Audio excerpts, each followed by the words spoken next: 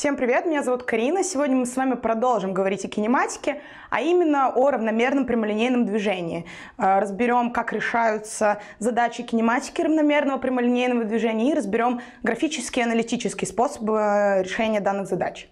В прошлый раз а, мы с вами говорили про самолет, который летит из Питера в Сургут, и описывали его различными параметрами движения этого самолета, описывали различными параметрами.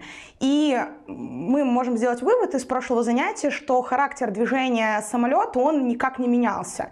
У него все оставалось постоянным, ну, по сути, кроме координаты, и таким образом можно сделать вывод, что он двигался прямолинейно равномерно.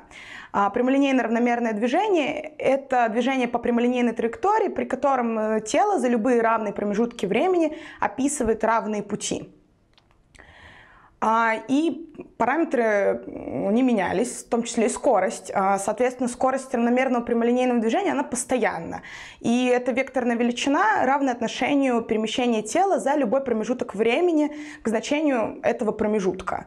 Да, то есть мы берем, а, засекаем часами, таймером каким-то, секундомером, засекаем время и смотрим, какое расстояние прошло тело. В данном случае у нас самолет. И скорость можно изобразить на графике. А в случае равномерного прямолинейного движения график скорости – это прямая линия, параллельная оси абцисс. И, соответственно, чтобы а, вычислить а, перемещение, мы можем выразить формулу из формулы вектора скорости, которая у нас была два слайда назад, и спроецировать величины векторные на ось, получить скалярные точнее не скалярные, про, получить проекции векторных величин. И перемножить просто скорость на время. Но можно сделать еще красивее.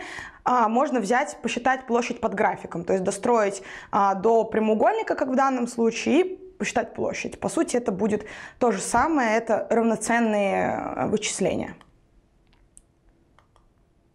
Вот время у нас, да, и скорость, проекция скорости. А, сейчас предлагаю быстро решить небольшую задачу, а, посмотреть на два графика и определить, на каком из графиков скорость э, равна минус 45 км в час.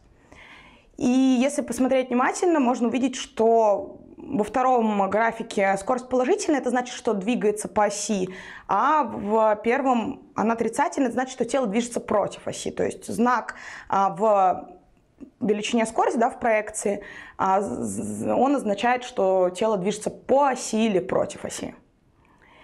И также мы еще можем описать координату прямолинейного равномерного движения. А координата конечная равна начальной координате плюс а, произведению э, скорости в данный момент времени на это самое время.